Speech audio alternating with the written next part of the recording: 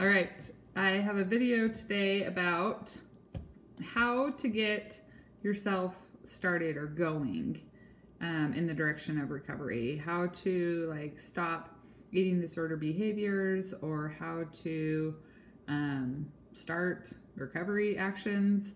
Um, oftentimes, when you're at the beginning of recovery and you're like, okay, I want to do this, I want to recover, you think, okay, what do I have to do? I have to eat unrestrictedly, I can't exercise or do any lower level movement, and I got to stop all my compulsive um, behaviors. It can feel overwhelming, right?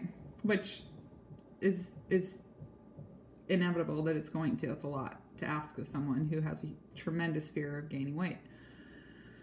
And there's a lot of different approaches to recovery, and I always talk about be bold, be bold, be bold, be bold, which is awesome in theory. But if someone is talking and thinking and dreaming about being bold, but not doing anything from day to day to day, they're just kind of doing the same thing and they're having a hard time jumping in.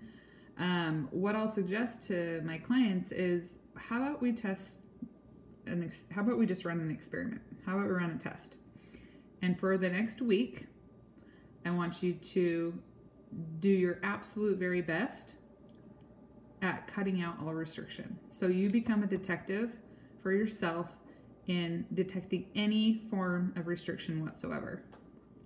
And I don't know, make a game out of it. Every time that you catch yourself restricting and you decide you're going to eat something instead of just going along with the idea of restriction, give yourself a point. Tally up your points at the end of the day.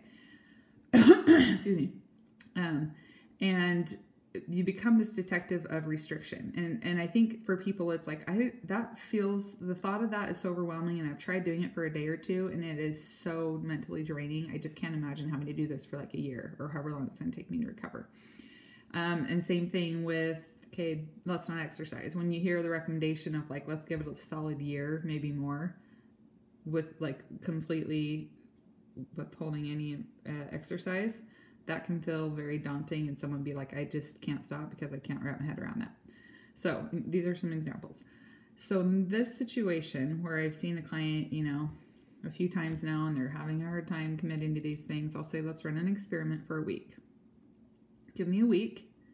Give me a week of like you truly committing to doing your absolute best and only you know your best your absolute best at cutting out all restriction and your absolute best at absolute minimal movement. Like I'm talking to go to the bathroom, to take a shower, you have to go grocery shopping, um, you know, um, taking a car versus walking, take the car, parking in the closest parking spot, not the furthest, all those little things that will creep in when someone starts to take away or um, um, what's the word um, eliminate exercise. Then all these other weird creepy things pop up that they justify but that's still lower level movement.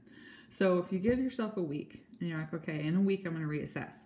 Oftentimes what happens almost always which is really cool is that person that's done this that was brave enough to tackle this for a week realizes i live to tell about it. I did notice a little like a lot of anxiety for sure but i noticed a little difference in my thoughts. I noticed that i had the eating disorder thoughts, definitely. But I realized and what I learned about myself this last week is I can actually say no to those. Those don't have to control me. Because I've done this now for the last week, I actually did that. What if I just did another week? I'm going to try another week. I think I can do it. And you take it that way. So I feel like if you can approach it, if you're struggling with just like, you know, waking up one morning being like 100% I'm all in, I'm not looking back and I'm doing this and you can do it and you jump in, awesome. But sometimes that doesn't happen. Sometimes it's I need to take this out a week at a time that I am going to be 100%. I'm not saying go like 70% at the beginning. Go 100%. Give it your all for that week and then let's talk and reevaluate. Um, so that's just some a tool I use um, with clients that I've found to be really helpful and to it's really fun to watch because I see their confidence kind of soar and their ability to be able to recover. If you can do something for a week, and you can do it for another week and you can do it for another week and you got some momentum and you're rolling through and you're making great progress, then that's when the rewiring starts happening. That's when things start changing. And it doesn't have to be this like, I'm going to decide to do this, and for the rest of my life, this is it. This is my destiny. This is my future of never moving again and just sitting at home all day long and stuffing my face with every every food thought I have. I just can't imagine doing this. There's no way I'm just not even going to try. So give it a shot. Let me know um, your thoughts on this, or if you've done this before, or if you do do it before. I'd love to hear um, how it went for you. So with that, have a fantastic day. Bye.